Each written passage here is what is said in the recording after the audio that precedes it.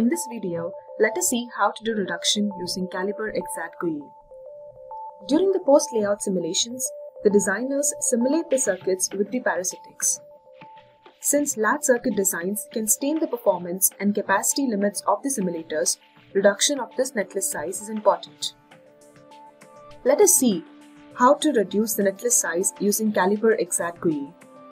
We have the design open in Cadence Virtuoso and as we run xACT by clicking on Calibre and run xACT,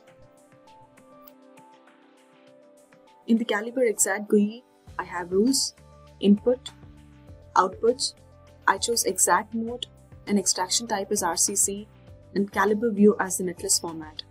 In options, I chose PEX reduce analog since the layout path is a GDS2 format and click no. We are running here without reduction. The xACT run is now complete.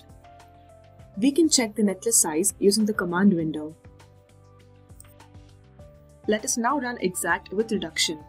In options, I go to PEX reduce analog and check yes. PEX reduce TICER reduction. The reason I was choosing TICER reduction is because TICER is the most accurate and recommended reduction technique. It is also a frequency based technique with the default frequency being 1 e to the 13. Depending upon the designer's requirement, they can choose required frequency. In my case, I choose 5 e to the 9 Hz. Calibre xACT also has different reduction techniques for coupled capacitors. I check on absolute threshold and ratio percent. According to my circuitry, I choose 3 femtofarads as the absolute threshold and 3% as the ratio percent. It's up to the designers to choose the required one. I choose the two values because the combination of two will reduce the errors introduced into the simulator because of reduction.